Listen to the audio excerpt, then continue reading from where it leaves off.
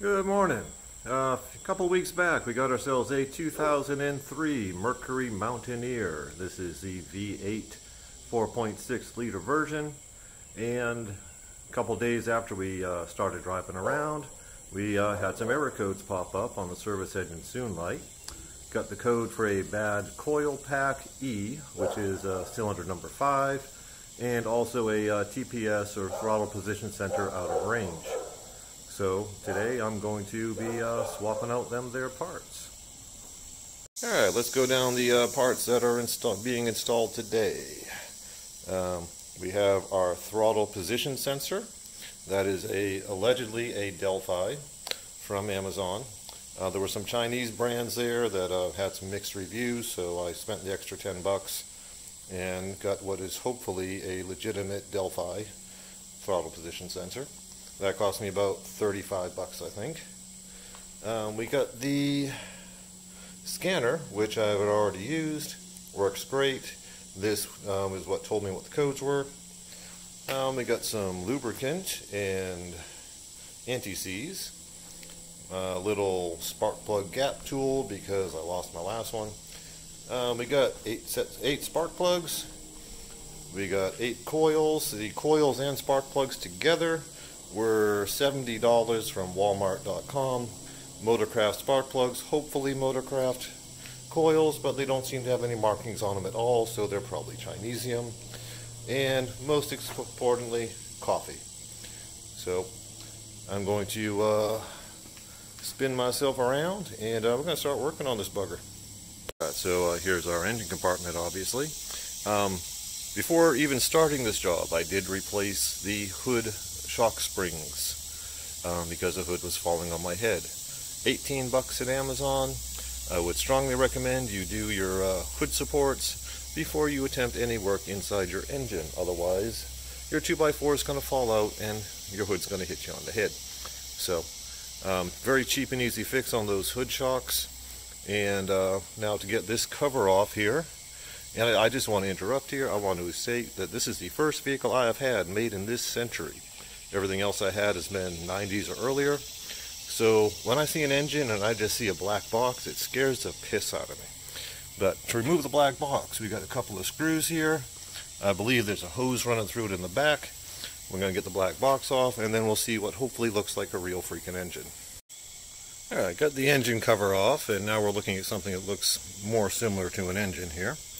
Um, the coil that was registering as an error was coil number 5 or E on the encoder.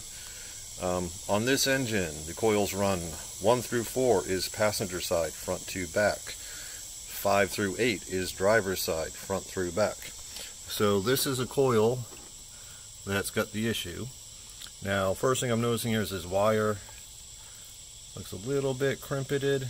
Looks like all the connections are intact because it could be the coil, it could be the wires leading to the coil. So we're going to pop that out and we'll see if there's any um, breaks or any obstructions in that wiring and then we'll uh, pop out that there coil. Um, connectors are basically your squeeze and release type of connectors and the coil, well I'll get to the coil in a minute.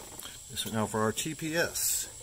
On the 8-cylinder version, your TPS is right there in front. I'm to put my finger on it here. That is the throttle position sensor. On the 6-cylinder version, it's facing the cab, more of a pain in the butt.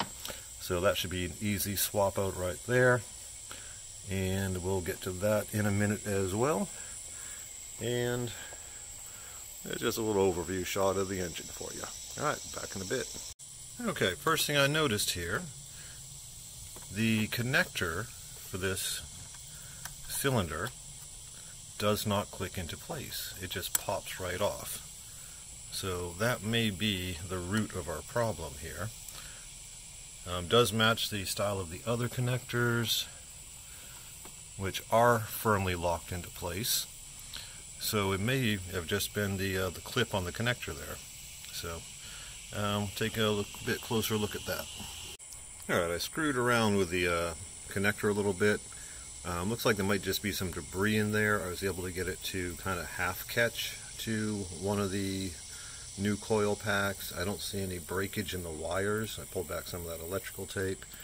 So I'm probably going to reuse this or try to reuse this instead of cutting into the harness and basically calling around and hoping somebody has this part in stock. So uh, I'm just going to plow on ahead and we're going to pull this first uh, coil pack and we'll take a look at that and the plug underneath it.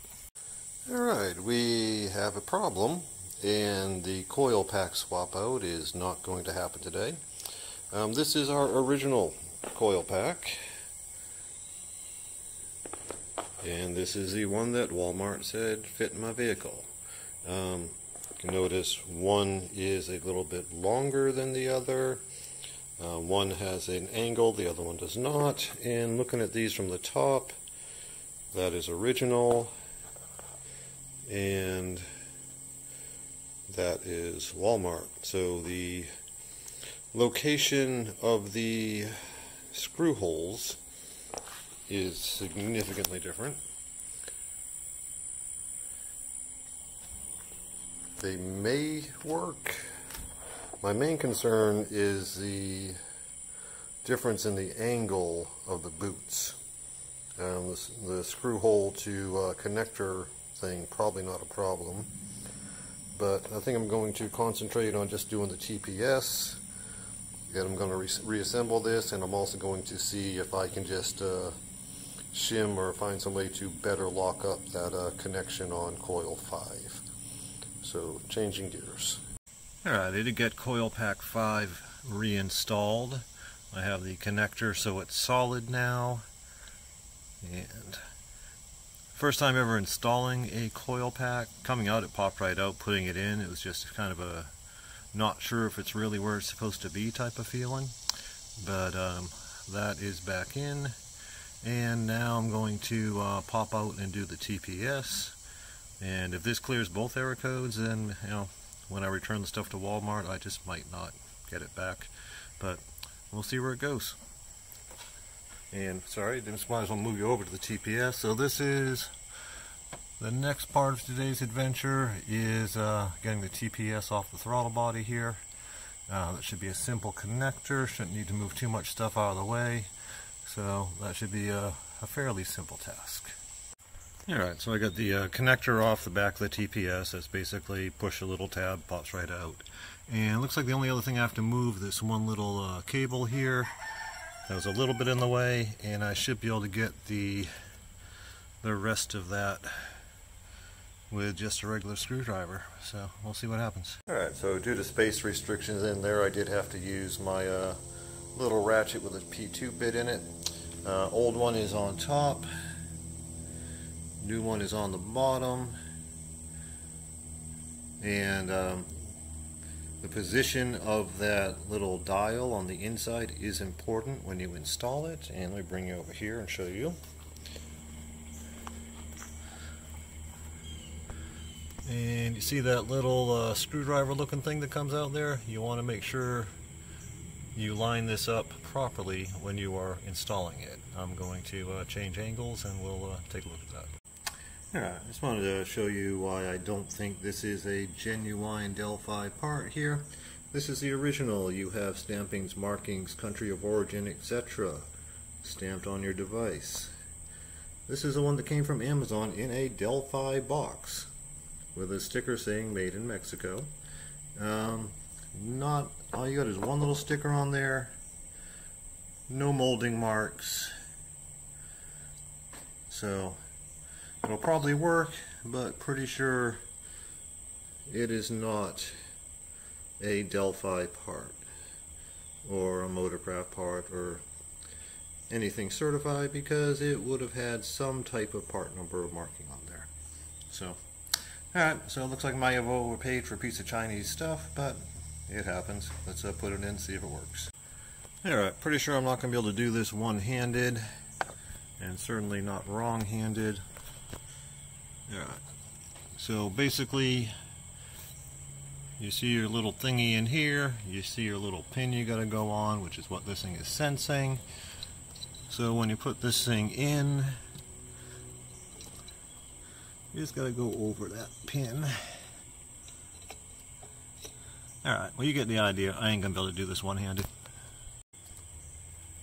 Alright, so it's in but not screwed in. Basically, when you put it in, you put it in straight, and then you'll just twist this to uh, line up your holes. So you don't want to line up your holes and put it on and mess up that uh, piece of throttle in there. So, alright, I'm going to put in a couple of screws and uh, hook that connector back up.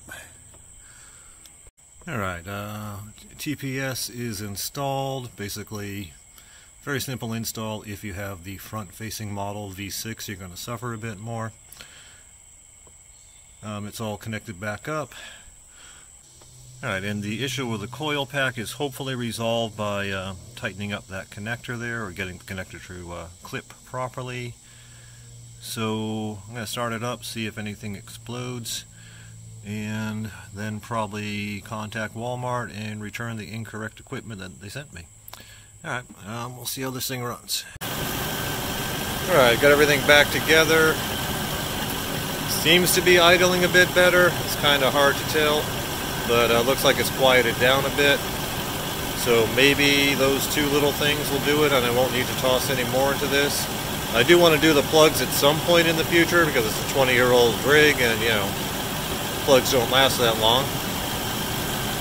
And if I'm going to pull all the plugs out, I might as well do those coil packs.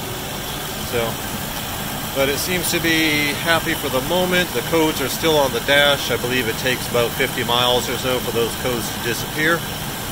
So hopefully this helps you out. I'm going to end this here and start uh, get my butt in the air conditioning and start video editing. Y'all have a great day. If this helped out at all, uh, please subscribe. And I do plan on having a couple more uh, small, short videos um, on uh, fixes and hacks or whatever for the uh, Mountaineer. Alright, later.